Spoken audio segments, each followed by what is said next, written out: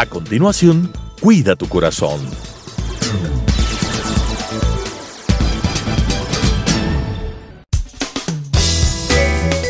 Clasificación A. Apto para todo público.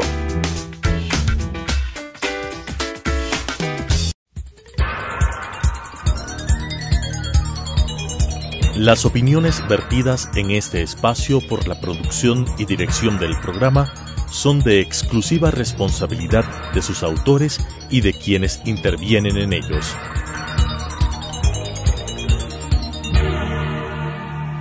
Telesucesos, Canal 29, UHF presenta Cuida tu corazón. Un programa enfocado en hacerle conocer cómo funciona, qué riesgos corre y cómo podemos cuidar tu corazón con la conducción del doctor Vicente Dávalos Cordero. Cuida tu corazón. Estimados televidentes, muy buenas tardes. Aquí nuevamente con este su programa Cuida tu corazón. Como habíamos dicho en programas anteriores, a nosotros cuando nacemos, por lo general, salvo las cardiopatías congénitas, nos entregan un corazón nuevecito. Un corazón nuevecito que muchas de las veces nosotros nos encargamos de, de dañar. ¿De dañar cómo? Con la presencia de ciertas enfermedades que no les vamos dando cuenta, como la hipertensión arterial, la diabetes, el colesterol, que produce el ateroma, o sea, la obstrucción de las arterias, y otro tipo de enfermedades que nosotros somos los causantes. Desde hace muchísimo tiempo, desde hace muchísimo tiempo, el cigarrillo, el tabaco, el tabaco eh, fue un gran aliado, especialmente del hombre. Si nosotros vemos las películas de los años 40, 50 y hasta los 60, el toque de masculinidad y feminidad era un cigarrillo en la mano. Un cigarrillo en el hombre con un sombrero de ala gacha y en la mujer con una boquilla muy larga. Generalmente era una, una boquilla de marfil o, o de otro, de plata, que hacía que los vieran más elegantes. Era una elegancia que llevaba una calavera, llevaba una calavera marcada. ¿Por qué quiero decir calavera? Porque pasaron muchísimos años hasta que la Food and Rocks, eh, la asociación, la Fundación Americana contra de las Drogas, diera como nombre adictivo al cigarrillo. Antes se le consideraba un hábito. Hábito significaba aquella cuestión a la cual nosotros ¿sí? lo realizábamos con una frecuencia bastante, bastante corta. Pero no, ahora se le considera ya al cigarrillo una adicción. El cigarrillo causa adicción. Y lamentablemente se lo está diciendo alguien que fue un adicto al cigarrillo. Adicto al cigarrillo que, gracias a Dios, me di cuenta antes de que eh, me causara daño. Fui un fumador empedernido, pero eh, llegó un momento en que la misma medicina me, me, llevó a decir, no, el cigarrillo te está haciendo daño y no tienes por qué causarte daño. No tienes por qué causarte daño al decir que el cigarrillo tiene sustancias que está totalmente comprobado, totalmente comprobado que van a causar lesión a nivel de nuestro organismo. Y esta lesión está, va a estar dada por algunas condiciones. Primero, el inicio de la de la adicción. Mientras más temprana es la adicción, mayor daño se tiene en el organismo. Segundo, en la cantidad de cigarrillos que fumemos. Lógicamente, ahorita dentro de la Sociedad Americana de Cardiología se dice que un cigarrillo, un cigarrillo diario, ya es un agente nocivo, ya aumenta los riesgos en relación a tener enfermedades cardiovasculares, cerebrovasculares y lógicamente de otros órganos, como por ejemplo la visión, los riñones, la vejiga. Está muy relacionada, como vamos a ver más adelante, a efectos del cigarrillo. Por favor, podríamos comenzar con la primera. Corazón y cigarrillo, enemigos. Definitivamente, como ustedes ven ahí, El cigarrillo son unas lanzas, unas lanzas que van a atravesar el corazón, lo van a quemar, lo van a dañar. Por eso es tan importante, tan importante que eh, desde niños, desde niños, se les diga que esto es una sustancia que va a dañar nuestro, nuestro, no solo nuestro corazón, sino todo nuestro organismo. Y qué mejor enseñanza que con el ejemplo. Entonces yo le ruego a los padres que si fuman, dejen de fumar. Que le den el ejemplo al hijo diciendo, mira, esto hace daño y yo lo voy a dejar por ti para que tú no aprendas a fumar. Y los que no fuman, por favor, no fumen delante de ellos y traten de que si están en una reunión donde hay fumadores, explíquenle, expliquen a los niños que fumar hace daño. ¿Por qué? Porque van a llegar a una edad en la que van a tener contacto con el cigarrillo. Contacto ajeno, lo más probable dentro de compañeros, eh, alguna cosa así. Contacto ajeno con el cigarrillo. Y si ellos ya van preparados ellos ya saben que el cigarrillo hace daño y lógicamente apoyados por ese seguimiento que hacen los padres y los maestros, esto tendrá, tendrá un mayor beneficio. Eh, recuerdo yo que de profesor universitario, nosotros hacíamos una campaña de compañeros contra compañeros, o a favor de compañeros, mejor dicho. Llegando al compañero, y le decirle, el momento de estar fumando, decirle, compañero, sí, no fumes, no fumes por esto, esto. En eh, hay momentos que, eh, lógicamente, como toda persona que es adicta o que es viciosa algo, el momento que uno le toca esa tecla, se sienten muy incómodos, muy incómodos, pero hay maneras de ir llegando a él, hay maneras de ir llegando. Recuerdo que una de nuestras, de mis alumnas, lo que hacía era recoger la colilla que botaba y se le entregaba, le decía, compañero, esto se te olvidó. Pero no te moléstate en, olerlo para que tú veas cómo huele eso. Y así te olemos nosotros. Y poco a poco esto fue increciendo hasta que se logró hacer un grupo que se denominaba el grupo antitabaco. Y sí, de verdad, nosotros, para nosotros era un orgullo el momento que llegaba un nuevo alumno y decía, oye compañero, quiero entrar al grupo antitabaco. Entonces, ya vamos a seguir viendo, por favor, la siguiente diapositiva. ¿Qué es el tabaquismo? Quiero, amables televidentes, explicarles verbalmente y siguiendo esta diapositiva qué es el tabaquismo. Nosotros nacemos con receptores de adicción. ¿Qué son estos receptores de adicción? Son unos receptores que al tener contacto por primera vez con una sustancia adictiva, ¿sí? despierta una, un estado emocional muy agradable. Hay personas que tienen adicción al cigarrillo, hay personas que tienen adicción al alcohol, hay personas que se fuman un cigarrillo en una fiesta y no vuelven a fumar en tres meses. Esas personas no tienen receptores de adicción. Pero existimos personas, como mi caso, en que sí tenía receptores de adicción. Y entonces esos receptores de adicción, cuando yo los puse en contacto con el cigarrillo, me causaban un placer que me exigían fumarme otro y otro y otro y otro y otro hasta llegar a la saciedad. Pero ¿cuál es la ventaja? Que estos receptores de adicción pueden ser vaciados. Lo que pasa con el tabaquismo es que además es un factor de riesgo independiente y de gran influencia para enfermedades cardiovasculares. Al decir cardiovasculares significa que son del corazón y todo lo que sean vasos. A donde llegue una arteria, al cerebro, a los riñones, al pulmón, a los miembros inferiores, que es una de las patologías severas que causa el cigarrillo, una lesión a nivel de las arterias de las piernas, una lesión irreversible que lleva muchas veces a la amputación. Y lógicamente afecta de diferente manera el sistema cardíaco.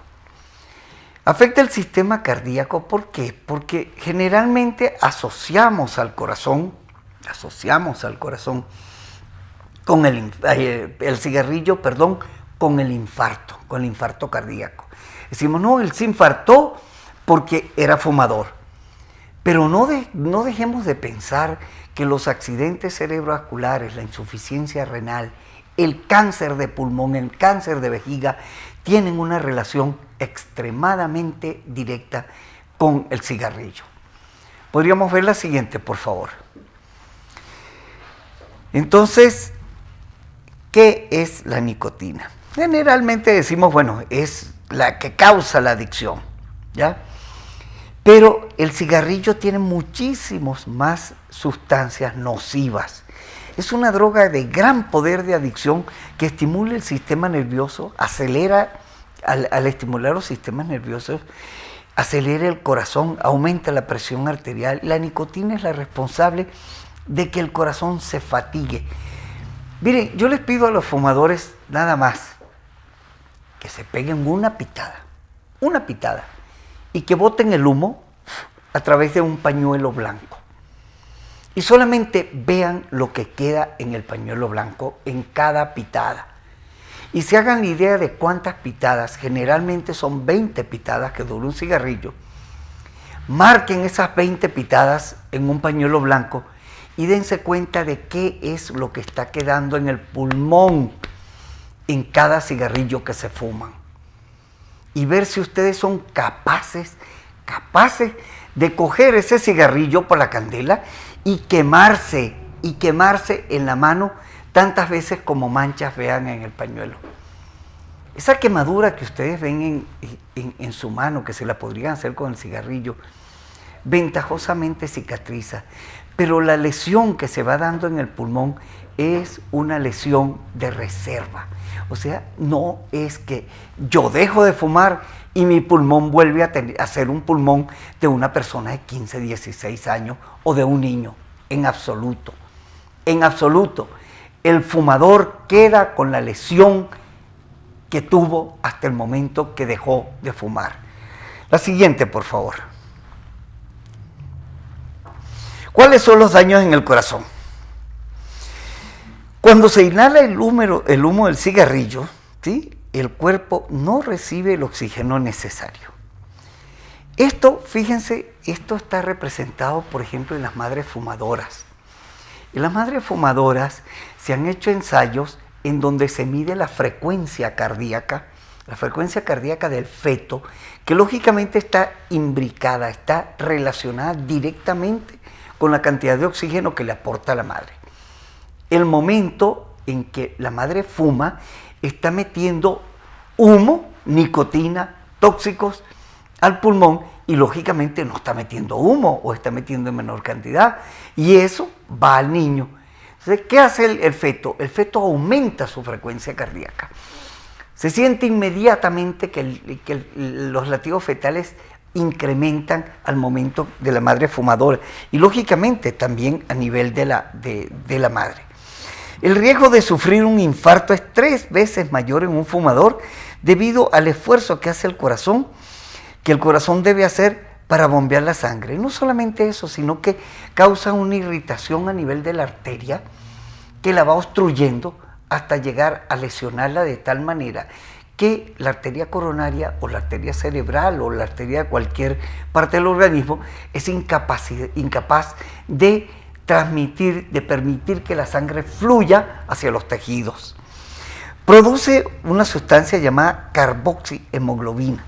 La carboxihemoglobina es una sustancia que pasa a, eh, a competir con la hemoglobina.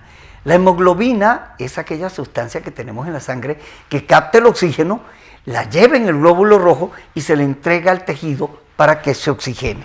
Entonces hay una competencia entre el cigarrillo y la carboxihemoglobina y la hemoglobina, que es lo que normalmente nosotros tenemos. El ritmo cardíaco se acelera entre 5 y 20 latidos por minuto. Pero la nicotina hace que los vasos sanguíneos se contraigan y la sangre fluya con dificultad. Dos de los químicos que se encuentran en el tabaco, 200 son venenosos y 60 son cancerígenos. ¿Qué significa esto? que el cigarrillo puede producir un enfisema pulmonar, una bronquitis crónica, una lesión a, nivel de las arterias, que son por los medicamentos nocivos. Pero al mismo tiempo puede producir cáncer de lengua, puede producir cáncer de laringe, cáncer de pulmón, cáncer de vejiga y de otros órganos por estos compuestos cancerígenos. Siguiente, por favor. Riesgos para el sistema cardiovascular. Ya hemos visto bastante. Causa aumento de la presión sanguínea, permite que el colesterol y otras grasas se acumulen en las arterias, disminuye la capacidad del pulmón, lo que hace más propensos a enfermedades respiratorias y o bronquitis o enfisema. Aumenta el ritmo cardíaco, crea coágulos en la sangre porque porque el fumador tiene menos oxígeno, el organismo produce más glóbulos rojos, al producir mayor cantidad de glóbulos rojos, se acumulan a nivel de, los vasos sanguíneos y esto es propenso a que se formen coágulos. Duplica el riesgo de ataque cerebral isquémico. O sea, no llega oxígeno al cerebro, el oxígeno al cerebro hace que se produzca infartos o isquemia, que es la disminución de riego arterial a nivel del cerebro reduce la cantidad de oxígeno que llega a los tejidos del cuerpo, robando la energía y haciendo difícil la respiración. Daña los vasos sanguíneos, produce infartos a corta edad, ronquera e irritación de la garganta como laringitis, faringitis, sinusitis crónicas. Entonces fíjense todos los daños, todos los daños que uno puede evitar al momento de dejar de fumar o al momento de no iniciar el cigarrillo. Por eso es tan importante, tan importante que desde las escuelas se les explique lo nocivo que puede ser el cigarrillo, los daños que puede causar, para que en edad juvenil, que es cuando inicia el, hábito o el vicio, mejor dicho, de fumar, el niño ya vaya preparado para luchar contra esto. La siguiente, por favor.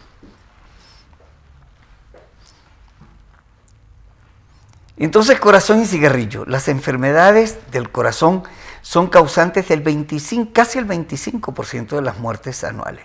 10% de las enfermedades cerebrovasculares en el mundo son causa por fumar. El humo del tabaco es uno de los principales factores que causa infarto al miocardio y enfermedades cerebrovasculares.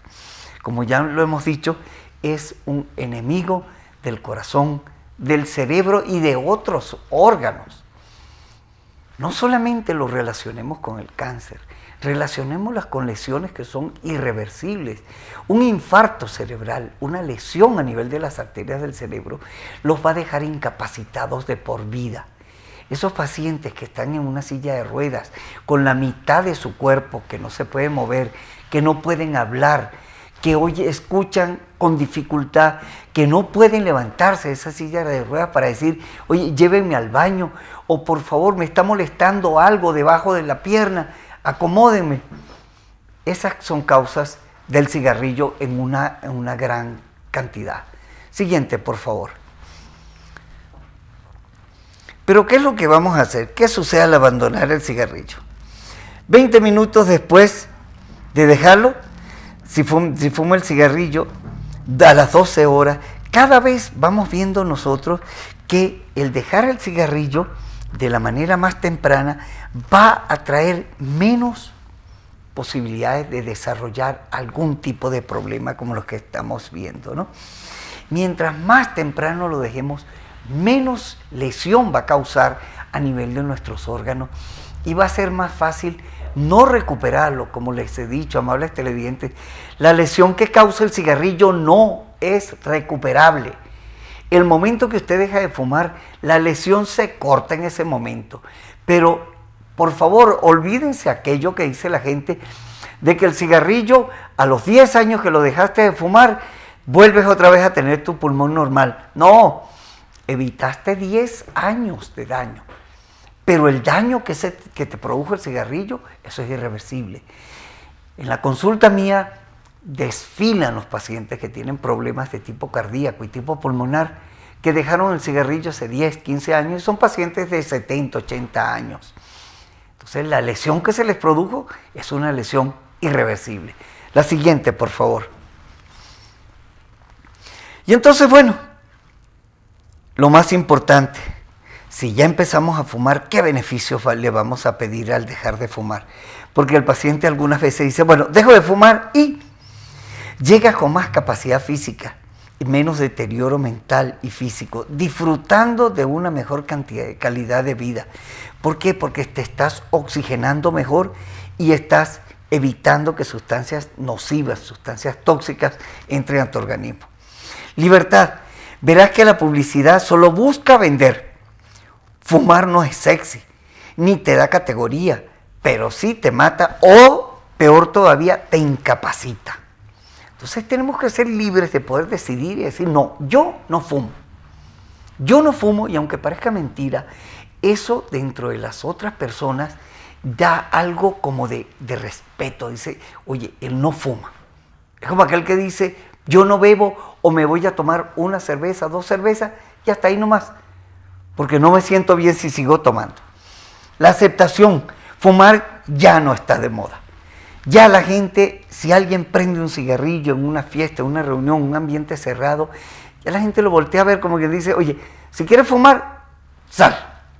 Antes en los aeropuertos, yo no sé si ustedes, si ustedes eh, se acuerdan, era asqueroso ver aquellos nichos, aquellos nidos, aquellas eh, eh, celdas en que la gente se metía a fumar. Gracias a Dios ahora ya no existe ni eso. La persona no puede fumar. Desde que entra al aeropuerto, no puede fumar. Y antes, recuerdo yo, que se decía que en los aviones las últimas filas eran para los fumadores. Qué cosa tan irónica, ¿no? Ahora sabemos que el, humo del cigarrillo se esparce por todas partes y que puede llegar a ser dañino. Lógicamente no como el contacto directo, pero sí que puede llegar a ser dañino. Entonces, si analizamos el cigarrillo es costoso. Nos vuelve una persona desagradable por, el olor que, significa fumar. Nos vuelve desagradable por el humo que le echamos a las personas.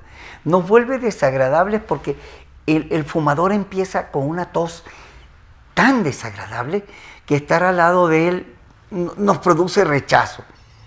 Si tenemos todo esto en las manos, todo esto en las manos, y somos sanos, Jóvenes, no fumen.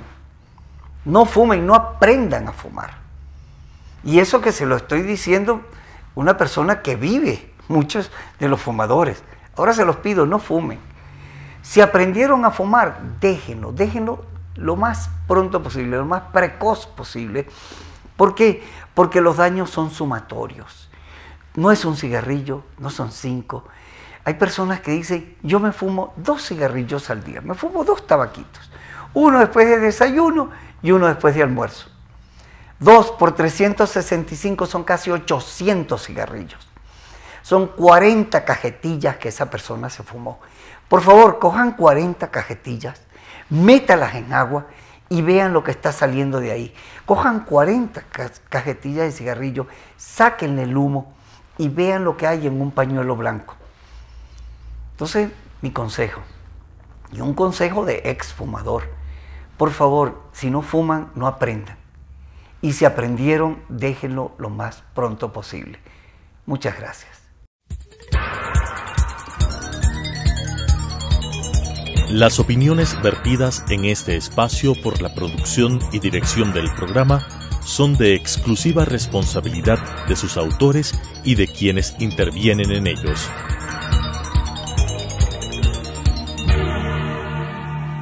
Telesucesos, Canal 29, UHF presentó Cuida tu corazón, un programa enfocado en hacerle conocer cómo funciona, qué riesgos corre y cómo podemos cuidar tu corazón con la conducción del doctor Vicente Dávalos Cordero. Cuida tu corazón.